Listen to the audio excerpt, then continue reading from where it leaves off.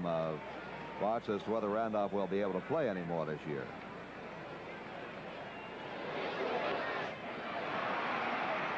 The throw to third, and they've got the force play there. Andy Thornton making the throw to Buddy Bell. Roy White is forced out.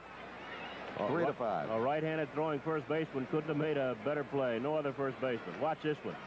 Thornton really comes in here now, and he has to spin around. He'll completely lose sight of third base. Then he rights himself and makes a good throw, and Bell makes a good stretch, and they force White over at third base. That's